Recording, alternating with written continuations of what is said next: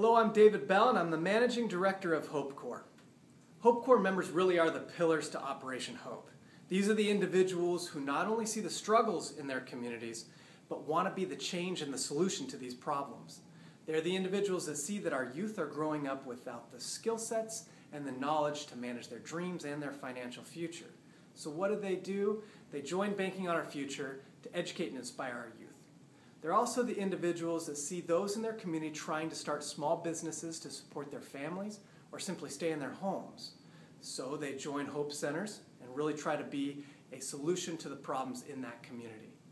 They're also the individuals that realize that natural disasters don't only destroy personal property, they can destroy a financial stability.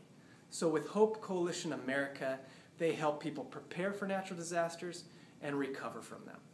So if you're not currently a Hope Corps member, we would love for you to join this wonderful team of individuals. It's simple. Simply fill out the volunteer interest form and I'll be in touch with you soon. Now, if you are a Hope Corps member, there's no words to express the thanks that we have for you for being so selfless and so dedicated to your community.